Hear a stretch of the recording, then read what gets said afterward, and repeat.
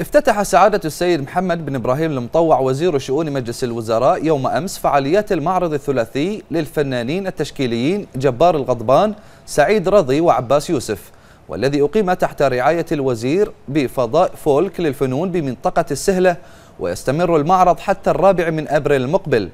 وخلال جولة قام بها سعادته في أرجاء المعرض أعرب عن إعجابه بما يتضمنه من أعمال فنية وتشكيلية راقية تعكس المستوى المتميز الذي وصل إليه الفنان البحريني وقدرته على صياغة أعمال فنية تجمع بين رقي المضمون وروح الانطلاق في التعبير عن الإحساس الإنساني.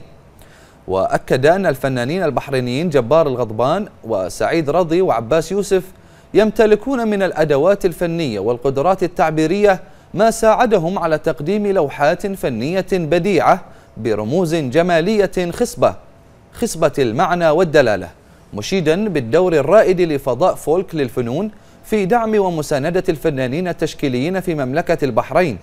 من جانبهم أعرب الفنانون التشكيليون عن خالص الشكر والتقدير لسعادة وزير شؤون مجلس الوزراء على اهتمامه ودعمه المستمر للحركة الفنية والتشكيلية في مملكة البحرين مؤكدين أن الفن التشكيلي البحريني استطاع أن يحلق عاليا في الآفاق الإقليمية والدولية بفضل رعاية الدولة وتحفيزها الدائم للإبداع الفني والأدبي والثقافي.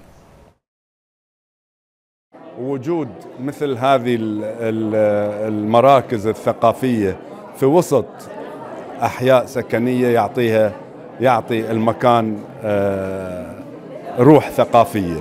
وأنا أتمنى أن نشجع مثل هالنوع من المراكز في وسط الأحياء آه، السكنية. لأن تعطيها روح. الجانب الآخر المعرض فعلا ثلاثة من الفنانين المخضرمين في البحرين واللي عندهم تاريخ آه، في يعني تاريخ آه، معروف في العمل الفني وفي وبالذات في الجانب التشكيلي. وكلهم أسماء معروفة.